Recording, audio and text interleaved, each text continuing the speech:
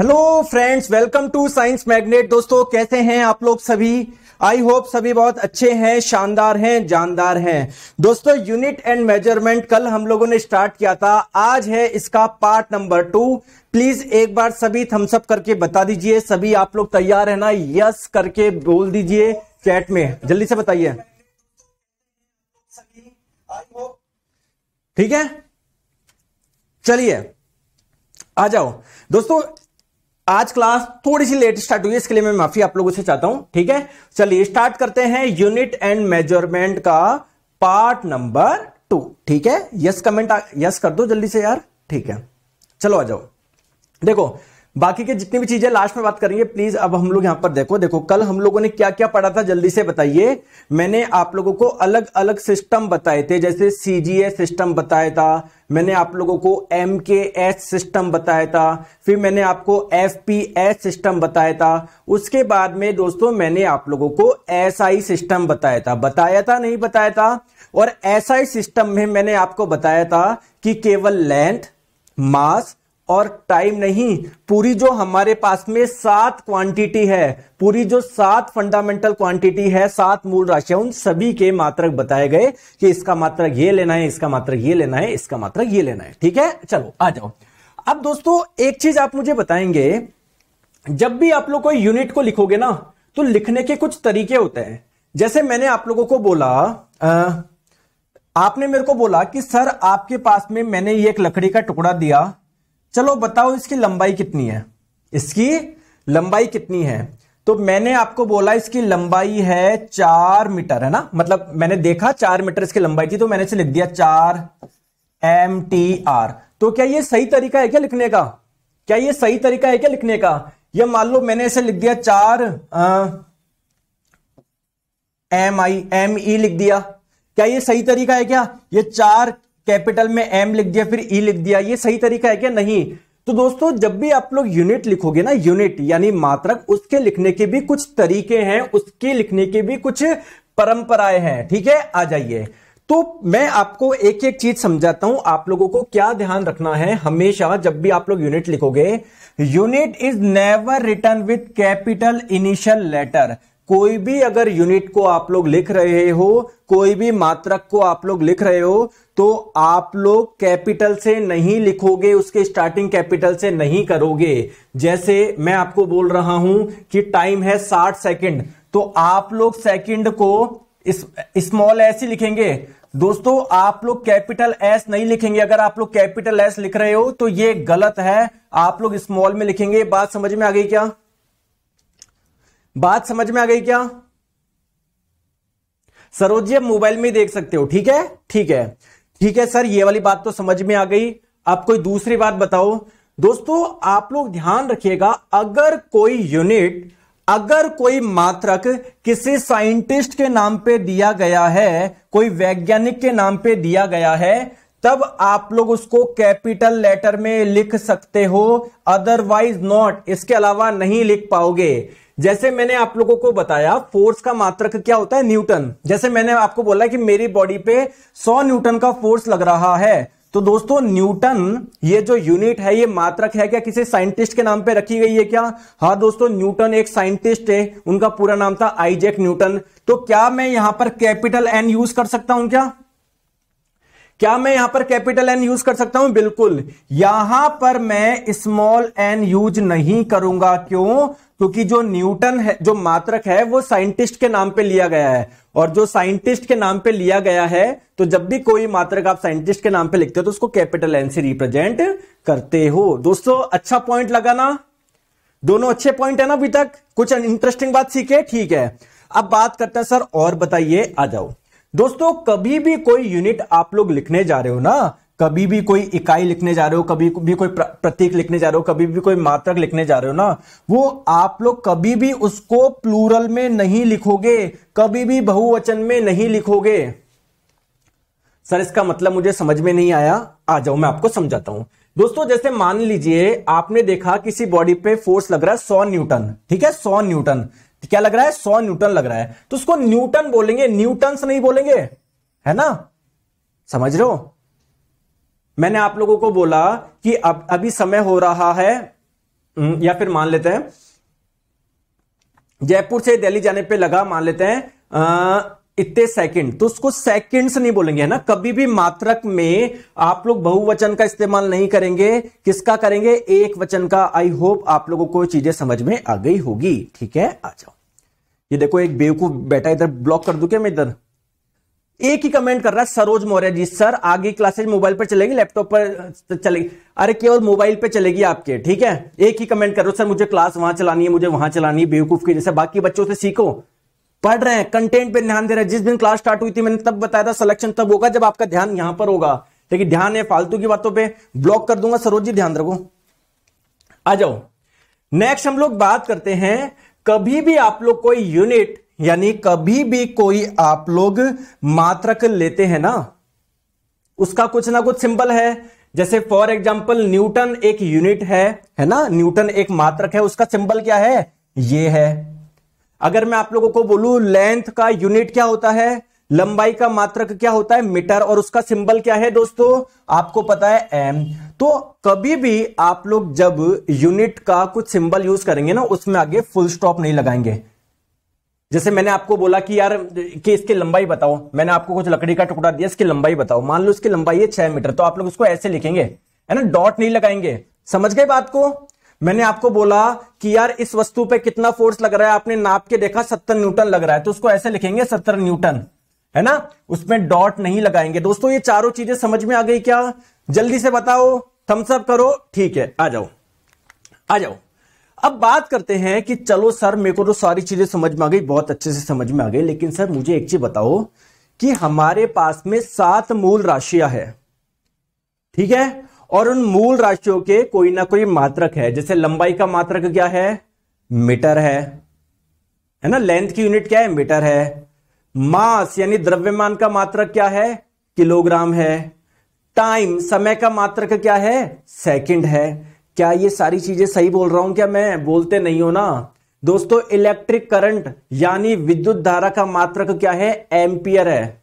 दोस्तों, मास, यानी द्रव्यमान का मात्रक क्या है? किलोग्राम है। लेकिन दोस्तों, आप लोगों ने कभी सोचा है क्या कि किलोग्राम किसको बोला गया है? किलोग्राम किसको बोला गया है? कभी सोचा है? आपको पता है टाइम का जो मात्रक होता है, वो सेकंड होता है। कभी सोचा है सेकंड किसे बोला गया है? कौन से समय को एक सेकंड माना है? कभी सोचा है क्या? सर, नहीं सोचा। जैसे आप लोगों को पता है, लंबाई का मात्रक होता है मीटर। कभी आपने सुना है क्या? एक मीटर किसको माना है? दोस्तों, जितने भी आपके पास में ये जो मूल मात्रक है सात मूल मात्रक है ना, उनकी कुछ ना कुछ परिभाषा है। सेकंड की भी कोई ना कोई परिभाषा है, मीटर की भी कोई ना कोई परिभाषा है। आइए मैं आप लोगों को समझाता हूँ। तो हेडिंग डाल लीजिए। डेफिनेशन ऑफ़ फंडामेंटल यूनिट जो हमारे पास में मूलभूत इकाई है, जो मौलिक इकाई है, जो मूल आपके मात्रक है, उनकी परिभाषा हम लोग समझते हैं। सर, ये हमको याद करना पड़ेगा कि नहीं दोस्तों? कोई याद करने की ज़रूरत नहीं। जस्ट मैं आप लोगों को समझा रहा हूँ। ये इतना इंपॉर्टेंट नहीं है बट फिर भी आपको नॉलेज होनी चाहिए। जैसे मैं आपको बोलूँ कि मीटर मीटर किसे माना गया है? एक मीटर किसको बोलेंगे? तो मैं आपको बताता हूँ देखो ये है इसकी डेफिनेशन सॉरी ये डेफिनेशन क्या है? समझ में नहीं आई। मत समझो मत समझो कोई बात नहीं मत समझो। आप लोग सिंपली बात समझो। एक मीटर किसे बोला गया है? दोस्तों आपको पता है ना हर कि, हर अगर कोई वस्तु गतिमान है सबकी कोई ना कोई स्पीड होती है। और वो कुछ समय में कुछ ट्रेवल करती होगी कुछ दूरी तय करती होगी। क्या ये बात सही है क्या? अरे बोलो। बोलते नहीं हो। दोस्तों लाइट प्रकाश भी तो ट्रेवल करती है, इसकी भी तो कोई ना कोई स्पीड या कोई ना कोई चाल है। तो प्रकाश इतने सेकंड में, कितने में? इतने सेकंड में, इतने सेकंड में, इतने सेकंड में जो दूरी तय करती है, उसे ही क्या बोला गया है? एक मीटर बोला गया है। दोस्तों, समझ गए बात को? समझ गए? प्रकाश इनों से कितना कम इतने सेकंड में जो दूरी तय करती है उसे ही एक मीटर बोला गया है। सर ये तो मैंने पहली बार समझा है। अच्छा कॉन्सेप्ट बताया। क्या मुझे सर ये याद रखने की ज़रूरत है कि नहीं दोस्तों? ये आपको एग्ज़ाम में बहुत कम चांसेस है पूछने के। बिल्कुल न के बराबर। बस आप लोग समझिए कि, कि मीटर भी किसी ना किसी को तो बोला गया है वो मैं आपको समझा ठीक है। दोस्तों बात करते हैं नेक्स्ट किलोग्राम सर एक किलोग्राम किसे बोला गया है? किलोग्राम किसे बोला गया है? सर थोड़ा सा बताइए। आइए मैं आपको समझाता हूँ। दोस्तों एक्चुअली में एक सिलेंडर है। सर सिलेंडर आप जानते हो क्या? सिलेंडर जानते हो क्या? हाँ सर जानते हो। ना कुछ ऐसा होता है सर कुछ ऐसा होता है। कुछ ऐसा सा होता है सिलेंडर ठीक है क्या? आ, दोस्तों इस सिलेंडर की जो हाइट है और इसका जो डायमीटर है वो कितना है? 39 सेंटीमीटर इसका जो डायमीटर है वो 39 सेंटीमीटर है। हाइट कितनी है? 39 सेंटीमीटर है। सर, ये सिलेंडर बना किसका हुआ है? दोस्तों, ये एक मिश्र धातु का बना हुआ है। कौन से मिश्र धातु का? एक तो प्लेटिनम और एक इरिडियम का बना हुआ है। सर, ये सिलेंडर कहाँ पर रखा हुआ है? ये सिलेंडर रखा हुआ है पेरिस में रखा हुआ है। क्लियर है क्या? और दोस्तों, इसका जो वज़न है, वो एक किलोग्राम है। तो एक किलोग्राम की डेफिनेशन क्या है कि 39 सेंटीमीटर व्यास 39 सेंटीमीटर ऊंचाई वाले, है ना, इस मिश्र धातु के सिलेंडर का जो द्रव्यमान है, उसे ही क्या माना गया है? एक किलोग्राम माना गया है। अगेन मैं आपको बोल रहा हूँ, आपको डेफिनेशन याद रखने की ज़रूरत नहीं है। बस मैं आपको बता रहा हूँ आपकी नॉलेज के लिए कि जो हमारे सात मूल मात्रक है ना, वो भी कहीं ना कहीं से आए हैं। कहाँ से आए वो मैं आपको बता रहा हूँ। आपको एक इंटरेस्टिंग फैक्ट ये भी बताता हूँ। दोस्तों पेरिस के बारे में क्या आप लोग बता सकते हो क्या पेरिस के बारे में इंपॉर्टेंट फैक्ट बताओ पेरिस कहाँ पर है? फ्रांस में ना? पेरिस दोस्तों, फ्रांस की राजधानी तो है ही, साथ में सबसे अधिक आबादी वाला शहर भी है, ठीक है? चले आगे, आ जाओ। नेक्स्ट बात करते हैं, सर सेकंड किसे माना है? एक सेकंड किसे माना है? आइए दोस्तों सेकंड में आप लोगों को बताता हूँ। एक्चुअली में आपको पता है, आप लोग अपने रिस्ट पे, कलाई पे वॉच पहनते हो ना? घड़ी पहनते हो ना, दोस्तों, घड़ी अलग अलग प्रकार की आप लोग जानते होंगे। एक तो डिजिटल वॉच आती है एनालॉग वॉच आती है है ना? एक तो मतलब वो, सुई वाली आती है। एक आजकल डिजिटल वाली वॉच आती है वॉच अलग अलग प्रकार की होती है ना? वैसे ही, दोस्तों, एक वॉच होती है है ना? जिसे हम लोग बोलते हैं एटॉमिक वॉच या एटॉमिक क्लॉक सर, ये कैसे समय मेजर करती है? जैसे कि नाम से ही समझ में आ रहा है एटॉमिक यानी परमाणविक। तो दोस्तों, इस घड़ी में क्या होते हैं? परमाणु होते हैं एटम होते हैं। और एटम आपको पता है ना वाइब्रेट करते हैं। तो दोस्तों, उनके वाइब्रेशन के आधार पर ये समय बताते हैं, ठीक है? तो बेसिकली एक सेकंड हमने किसको माना है कि सीजीएम है ना? सीजीएम का परमाणु, है ना? सीजीएम क्या होता है? देखो सीजीएम आपने केमिस्ट्री में आपने पढ़ा होगा। पचपन, एक सौ तैतीस, ये सीजीएम होता है। तो दोस्तों, इसका एक परमाणु जितने समय में इतने वाइब्रेशन करेगा, इतने कंपन करेगा, उसे ही एक सेकंड माना है। जस्ट ये डेफिनेशन है। दोस्तों, आप लोगों को याद रखने की ज़रूरत नहीं है। ना किलोग्राम की याद रखनी है, ना आपको मीटर की याद रखनी है, ना सेकंड की याद रखनी है। बस मैं आपके नॉलेज के लिए बता रहा हूँ। दोस्तों क्लियर है क्या? यार, बोलते नहीं हो। बोलते नहीं हो। क्या कभी आपने पढ़ा है? नहीं पढ़ाना लेकिन देखो, आपको कितनी बेसिक चीज़ें, सारी नॉलेज होनी चाहिए बट आपको कोई नहीं बताता। चलो आ जाओ।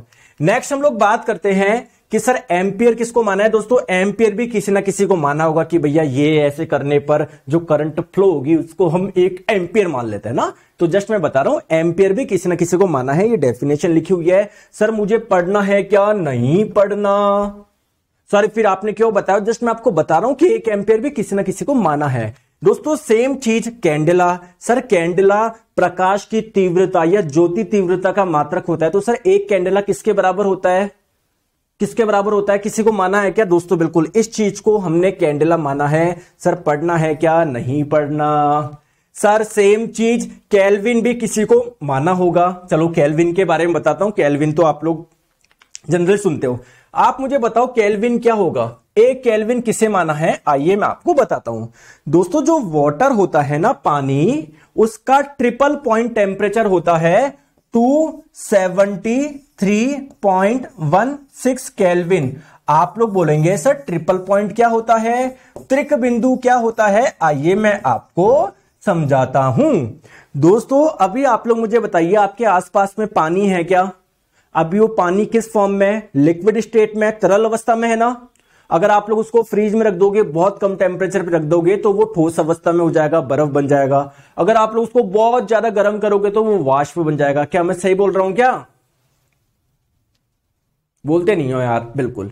तो दोस्तों ट्रिपल पॉइंट टेम्परेचर एक ऐसा टेम्परेचर है जिस पॉइंट पर पानी आपको तीनों स्टेट में दिख जाएगा एक साथ। ठोस अवस्था में भी मिल जाएगा कुछ पानी लिक्विड तरल अवस्था में मिल जाएगा, गैस स्टेट में भी मिल जाएगा। समझ में आ गया? तो इस ट्रिपल पॉइंट टेम्परेचर का दो दशमलव एक छवा भाग को ही हम लोग एक कैलविन बोलेंगे। मैं फिर से बता देता हूँ कैलविन की डेफिनेशन क्या दी गई है? केल्विन की डेफिनेशन दी गई है कि जो पानी का त्रिक बिंदु है, यानी वाटर का जो ट्रिपल पॉइंट है ट्रिपल पॉइंट टेम्परेचर है, उसके दो सौ तिहत्तर दशमलव एक छह भाग को हम लोग एक केल्विन बोलते हैं। दोस्तों, समझ गए बात को? तो जस्ट ये डेफिनेशन है, वो मैंने आप लोगों को बता दी। अब आपके मन में क्वेश्चन आएगा।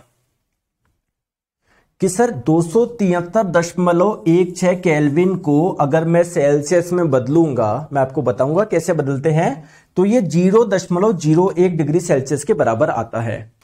आप मेरे पास में आ गए। सर, मैंने इतना कम टेम्परेचर रखा, इतना कम। आपने तो बोला था इस टेम्परेचर पे सॉलिड लिक्विड गैस तीनों स्टेट एक साथ मिल जाएगी। सर, मेरे को तो मिली नहीं। बस पानी बहुत ठंडा हो गया, जमा भी नहीं। सर लिक्विड स्टेट ही मिली। आप तो बोल रहे हो तीनों स्टेट मिलती। दोस्तों, तीनों स्टेट तब मिलती जब आप, एक तो आपको टेम्परेचर इतना कम रखना होता है और प्रेशर भी आप लोगों को इतना कम रखना पड़ता है, तब जाके आपको मिलती है, ठीक है? तो इसीलिए इसको हम लोग ट्रिपल पॉइंट टेम्परेचर बोलते हैं, त्रिक बिंदु तापमान बोलते हैं और इसको ट्रिपल पॉइंट प्रेशर बोलते हैं, त्रिक बिंदु दाब बोलते हैं। तो अगर आप लोगों ने इतना कम दाब रखा, इतना कम तापमान रखा तो पानी की तीनों अवस्थाएँ एक साथ आपको मिल जाएगी। क्लियर है क्या? क्लियर है क्या? क्लियर है क्या? समझ में आ गई बात को? सर, अ सब की क्या ज़रूरत है एग्ज़ाम के लिए? सोनू कुमार देव जी, आपको सब कुछ समझ में आएगा क्या ज़रूरत है, क्या नहीं, ठीक है? ठीक है दोस्तों सिमिलरली जो मोल है, वो भी किसी ना किसी को माना होगा। सर, चलो लगे हाथ, आप मोल भी बता दो, मोल किसको माना है? देखिए, दोस्तों, अगर आप 12 ग्राम कार्बन के परमाणु लोगे, जैसे आपने, देखो, दोस्तों प्लीज़ सारा ध्यान इधर रखिए। आप लोगों ने क्या लिया? एक आयरन की रॉड ली, एक लोहे की छड़ ली। दोस्तों, आपको पता है, कोई भी जो चीज़ होती है, वो बहुत छोटे छोटे पार्टिकल से मिलकर बनी होती है। उसे ही हम लोग एटम यानी परमाणु बोलते हैं।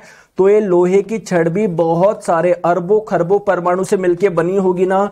तो अगर लोहे का आप लोग एक ग्राम लोगे ना, उसमें भी कितने सारे एटम्स यानी कितने सारे परमाणु आ जाएँगे? कभी आपने सोचा है क्या? बिल्कुल सर, मैंने सोचा है बहुत सारे एटम यानी बहुत सारे परमाणु आ जाएँगे।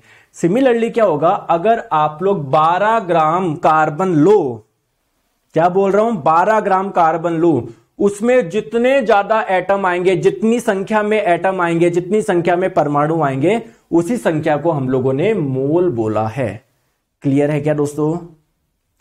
क्लियर है क्या? चलो। वैसे ही दोस्तों, आप लोगों का, है ना, ये सातों की मैंने आप लोगों को परिभाषा बता दी। आपकी जनरल नॉलेज के लिए थी, यहाँ तक आपको बात समझ में आ गई होगी। चलो, अब थोड़ा सा हम लोग आगे चलते हैं। दोस्तों, एक चक्कर आने लग गया हम लोगों को। एक दिक्कत आने लग गई मार्केट में। क्या दिक्कत? आपने क्या बताया? जरा मुझे बताइए, मास। यानी द्रव्यमान का मात्रक क्या होगा? किलोग्राम होगा। ठीक है, सर। मैंने बताया, भैया, द्रव्यमान को किलोग्राम में मेजर करना है। आपने मान लिया, ठीक है सर, आप बोल रहे हो, मान लिया। दोस्तों, मैंने आपको बताया कि जो लेंथ होगी, जो लंबाई होगी, उसको किसमें मेजर करना है? उसको मीटर में मेजर करना है, मैंने बताया, आपने मान लिया। दोस्तों, जो टाइम होगा, जो समय होगा, उसको किसमें मेजर करना है? उसको मेजर करना है सेकंड में, मैंने आपको बताया, आपने मान लिया। अच्छी बात है ना? अच्छी बात है ना? बिल्कुल अच्छी बात है। लेकिन दोस्तों, एक चक्कर आना लग गया। आपको पता है एटम परमाणु कितना छोटा होता है? हाँ बहुत छोटा होता है, सर। मैंने बोला, इस परमाणु की त्रिज्या बताओ रेडियस बताओ। आपने मुझे आके बता दी। आपने मुझे आके बता दी, मैं आपको बता रहा हूँ कितनी। ठीक है ना? आपने मुझे आके बता दी। सर टेन की पावर माइनस टेन मीटर यानी आपने आके बता दी zero point zero zero zero zero zero zero zero zero एक मीटर। मैंने बोला, यार, ये कोई तरीका है लिखने का? आपने बोला, सर, आप ही ने तो बताया, कोई भी लंबाई होगी, उसको मीटर में नापू।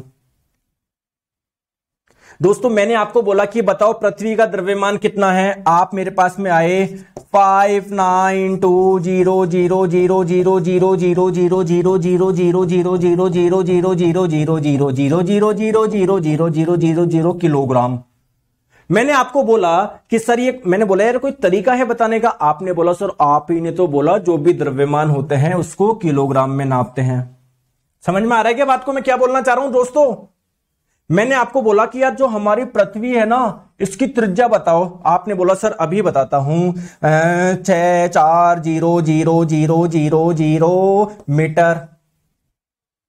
मैंने आपको बोला, ये कोई तरीका है क्या? आपने बोला, सर, आप ही ने तो बताया, मीटर में बताओ।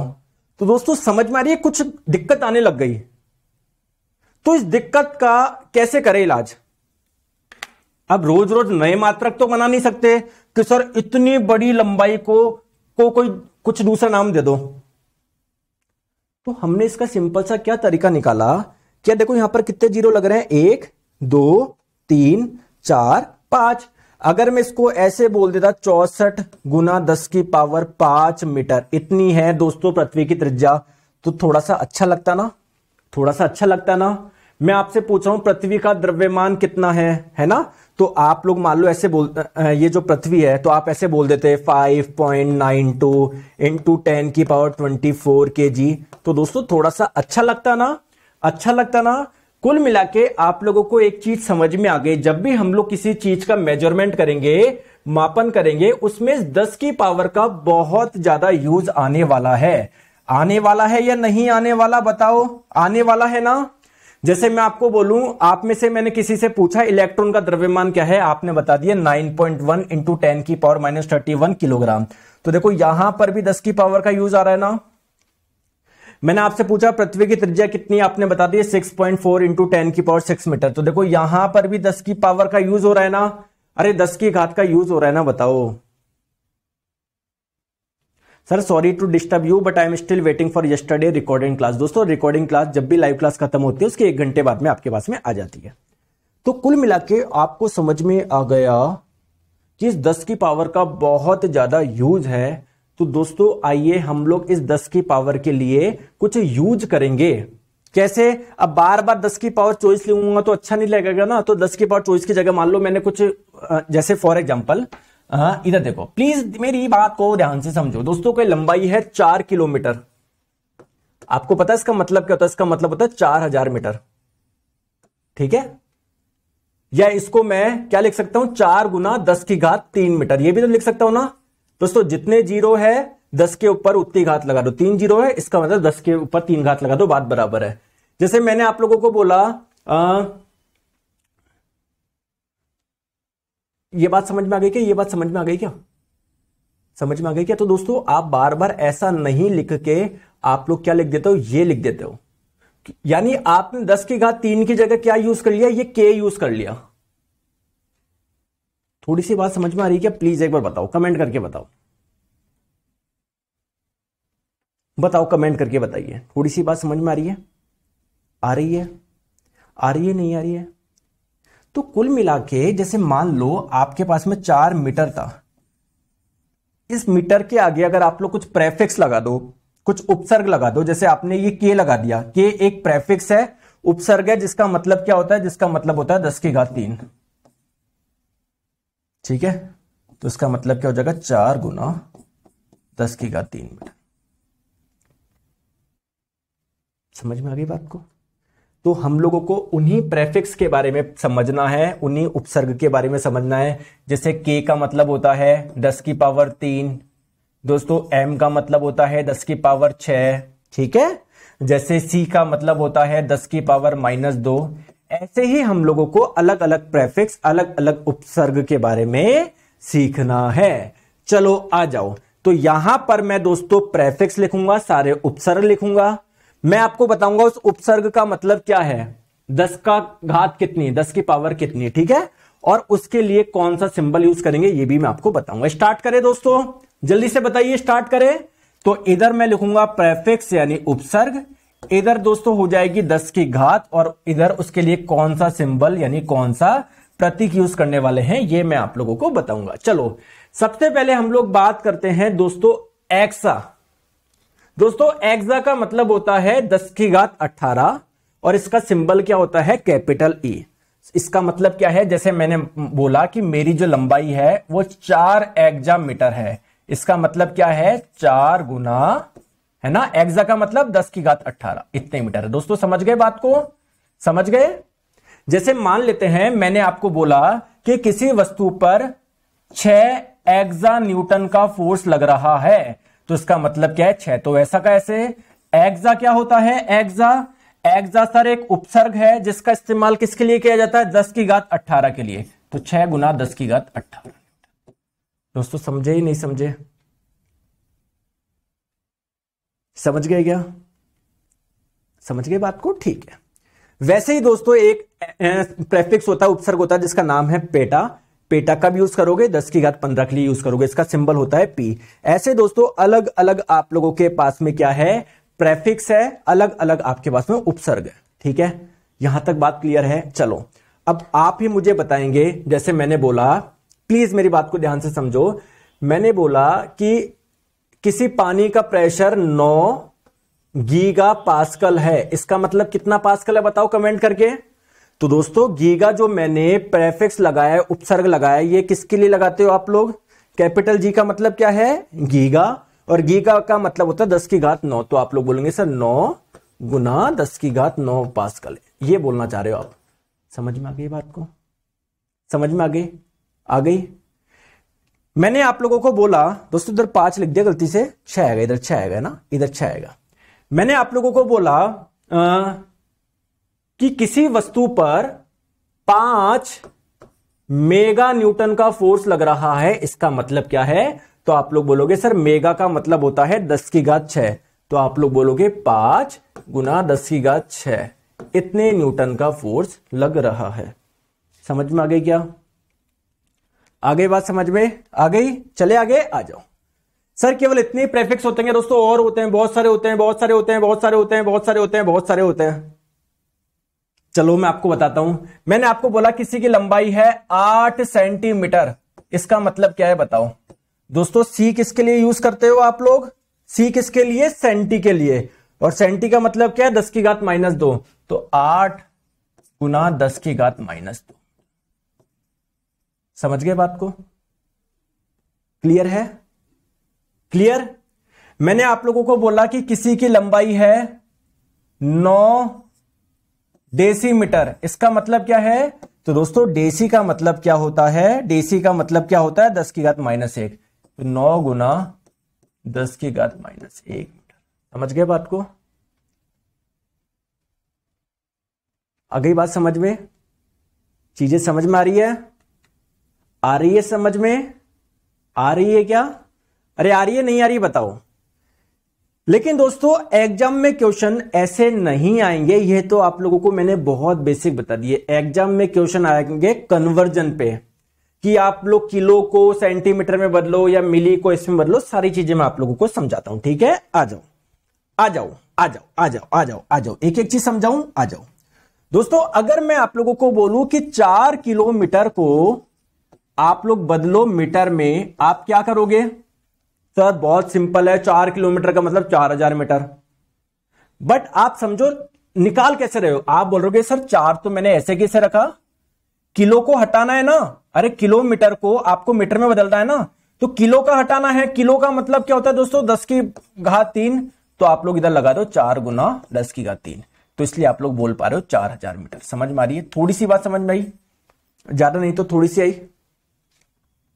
फिर से समझा रहा हूँ, टेंशन ना लो। टेंशन मत लो, है ना? मैंने आप लोगों को बोला कि यार किसी की लंबाई है दो सेंटीमीटर, इसको आप मीटर में बदलो, ठीक है? तो दो ऐसा की ऐसे रख दो।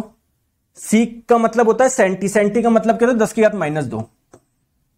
तो दो गुना दस की घात माइनस दो मीटर, है ना? या इसको आप लोग और क्या बोल सकते हो? Zero point zero two metre, ये भी बोल सकते हो।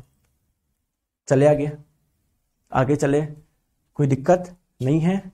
मैंने आप लोगों को बोला कि किसी पे आठ मेगा न्यूटन का फोर्स लग रहा है। तो बताइए कितना फोर्स लग रहा है? कितना न्यूटन का फोर्स लग रहा है? आठ, ऐसा की ऐसा? मेगा का मतलब होता है दस की गच है तो आप लोग बोलोगे, सर, इतना न्यूटन फोर्स लग रहा चले आगे। चले, कोई प्रॉब्लम, कोई दिक्कत? मैंने आप लोगों को बोला कि पानी का प्रेशर है दो गीगा पास्कल मैंने आपको बोला इसको पास्कल में बदलो। इसको पास्कल में बदलो। पास्कल में बदलना है, यानी गीगा हटाना है। दोस्तों, गीगा को हटाना है ना? गीगा को हटाना ना? गीगा का मतलब होता है दस के पावर नौ। तो ये लगा दो, बताओ। आई होप आप लोगों को ये सारी चीज़ें समझ में आ गई होगी। आ गई क्या? आ गई क्या? आ गई क्या? आ गई। तो मैं बोल सकता हूँ क्या, दोस्तों? क्या मैं बोल सकता हूँ क्या?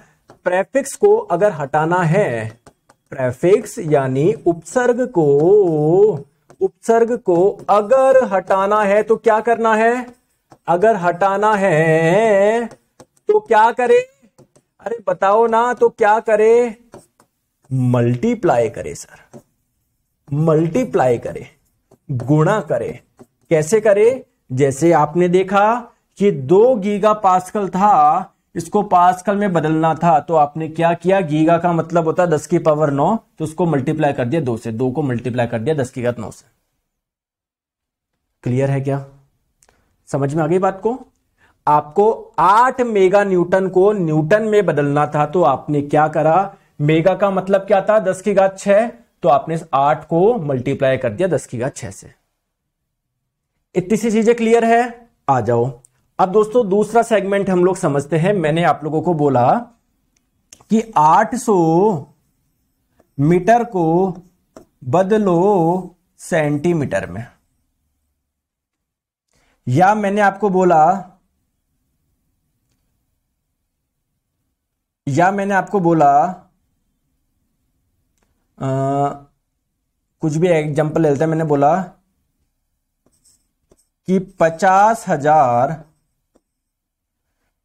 मेगा पास्कल सॉरी पचास हज़ार पास्कल को बदलो मेगा पास्कल में। बताओ कैसे करोगे? कैसे करोगे? कैसे करोगे? तो दोस्तों, यहाँ पर 800 मीटर था। आपको बदलना है सेंटीमीटर में। आपको सेंटी लाना है। आपको सेंटी लाना है। यहाँ पर पचास हज़ार पास्कल था। आपको बदलना है मेगा पास्कल में। यहाँ पर मेगा लाना है। तो दोस्तों, एक चीज़ ध्यान रखेंगे आप लोग हमेशा। अगर आपको, अगर अगर प्रेफिक्स यानी उपसर्ग लाना है ना, प्रेफिक्स यानी उपसर्ग लाना है ना, लाना है तो क्या करे? तो क्या करना है? तो क्या करना है? डिवाइड करना है, सर।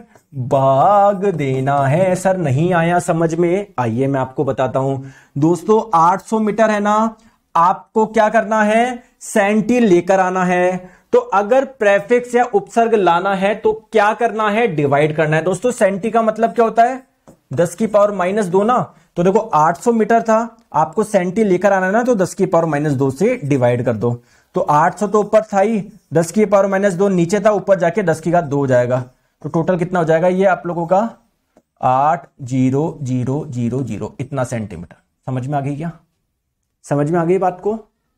समझ में आ गई? जैसे इधर देखो, पचास हज़ार पास्कल है, इसको बदलना है मेगा पास्कल में। दोस्तों, प्रेफिक्स लाना है ना? कौन सा लाना है? मेगा लाना है। तो क्या करना है? डिवाइड करना है। तो दोस्तों, इसको डिवाइड कर दो। किससे? दस की घात छह से। डिवाइड कर दो। तो क्या आ जाएगा ये? Zero point five mega pascal दोस्तों, समझ गए बात को? सर, कैसे पता लगेगा कि कौन सा मल्टीप्लाई होगा, कौन सा डिवाइड दोस्तों, लाना क्या है आपको? देखो, यहाँ पर आप देखो मतलब ये पूछना चाह रहे हैं, सर, दस की पावर दो से मल्टीप्लाई करे डिवाइड करे, देखो। आपको चार किलोमीटर को मीटर में बदलना है। किलो को हटाना है तो किलो का मतलब क्या होता है? दस की पावर तीन। तो जिसको हटाना है, उसका मतलब क्या है? दस की पावर तीन, वो मल्टीप्लाई कर दो। यहाँ पर आप लोगों को लाना था मेगा मेगा लाना था ना? कौन सा प्रेफिक्स लाना है, कौन सा उपसर्ग लाना है? मेगा लाना है। तो क्या करना है? डिवाइड करना है। तो मेगा का मतलब क्या होता है? दस की पावर छह तो उससे डिवाइड कर दो, जिससे मेगा आ जाए। समझ में आ गई बात को? ठीक है दोस्तों? क्लियर है? चलो, आ जाओ। और भी होते हैं क्या सर? बिल्कुल और भी होते हैं मिली, जिसका मतलब होता है दस की पावर माइनस तीन, माइक्रो, जिसका मतलब होता है दस की पावर माइनस छह, नैनो, जिसका मतलब होता है दस की पावर माइनस नौ, पीको, जिसका मतलब होता है दस की पावर माइनस बारह, फेमटो, जिसका मतलब होता है दस की पावर माइनस बारह माइनस पंद्रह। जैसे आप लोगों से एलपी में पूछा गया था कि एक फेमटोमीटर का मतलब कितना मीटर होता है, बताओ। एक फेमटोमीटर का मतलब कितना मीटर होता है? यानी फेमटो आपको हटाना है जब भी किसी प्रेफिक्स या उपसर्ग को हटाते हैं तो क्या करते हैं? मल्टीप्लाई करते हैं। तो दोस्तों फेमटो का मतलब होता है दस की पावर माइनस पंद्रह। तो मल्टीप्लाई कर दो, एक गुना दस की घात माइनस पंद्रह मीटर या सिंपली दस की घात माइनस पंद्रह मीटर क्लियर है क्या? क्लियर है क्या? पॉइंट फाइव मेगा पास्कल कैसे आया? अरे दोस्तों, पचास हज़ार में भाग लगाओ, दस की घात छह का। पचास हज़ार में भाग लगाओ, दस की घात छह का। दस की घात छह का मतलब छह ज़ीरो, एक, दो, तीन, चार, पाँच, छह। तो एक, दो, तीन, चार, पाँच छ एक, दो, तीन, चार। अच्छा। Sorry sorry sorry point five नहीं आएगा ये ना? चार पॉइंट ज़ीरो फाइव आएगा ना दोस्तों? पॉइंट ज़ीरो फाइव आएगा I sorry point zero five आएगा, ठीक है? समझ में आ गया? चले आगे? अरे आ रहा है नहीं आ रहा समझ में। जैसे मैंने आपको बोला, मैंने आपको बोला कि मेरी जो लंबाई है ना, वो आठ नैनो मीटर है। तो इसको मीटर में बदल के बताओ, मीटर में बदल के बताओ। तो आपको नैनो हटाना है तो जब भी आपको कोई चीज़ हटानी होती है तो क्या करते हैं? मल्टीप्लाई करते हैं। तो आठ ऐसे कैसे नैनो का मतलब दस की पावर माइनस नौ तो उसको हटाना तो उसको मल्टीप्लाई कर दो। तो ये हो जाएगा।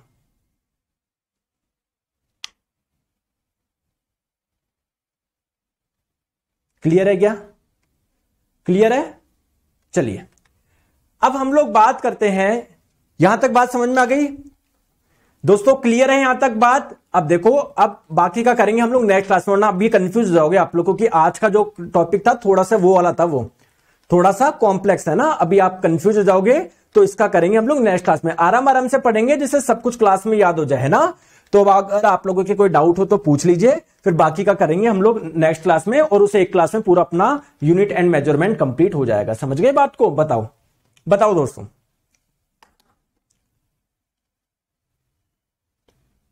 सर, आपका कोर्स का काफ़ी समय से इंतज़ार था, जैसे ही देखा बाय कर लिया। ओके लेकिन कुछ लोगों को चार सौ निन्यानवे में चाहिए। चलो, कोई बात नहीं, और बच्चों को नहीं पता होता कंटेंट की वैल्यू वगैरह उन्होंने कर दिया। आप दिल से मत लगाओ। आप बताओ दोस्तों, मज़ा आ रहा है पढ़ने में? देखो देखो, एक चीज़ आप लोग हमेशा ध्यान रखो जीवन में। प्लीज़ मेरी बात को आप लोग ध्यान से समझिएगा। एक चीज़ आप लोग हमेशा ध्यान रखना। क्या ध्यान रखे, सर? प्लीज़ बताइए, मैं आपको समझाता हूँ।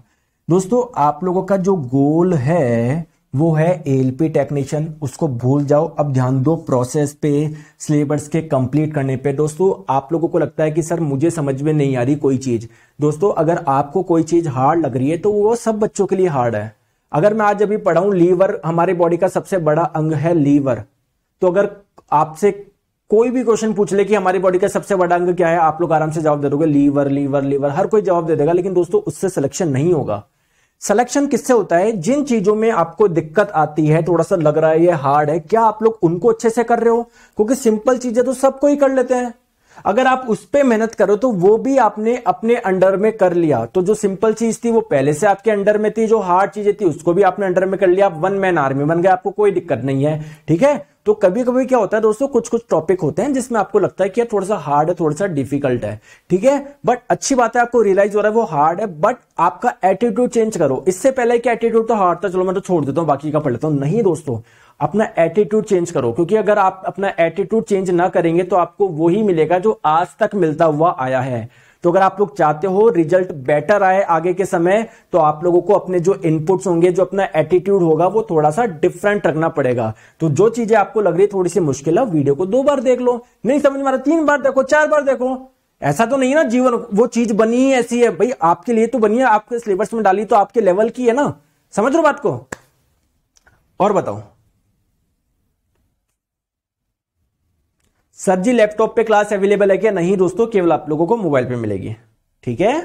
इंजन ड्राइंग का क्लास कब स्टार्ट होगा दोस्तों? पहले तो भी यूनिट मेज़रमेंट है, फिर हम लोग स्पीड एंड वेलोसिटी पढ़ेंगे ना? लास्ट में पढ़ेंगे इंजन ड्राइंग सबसे लास्ट में।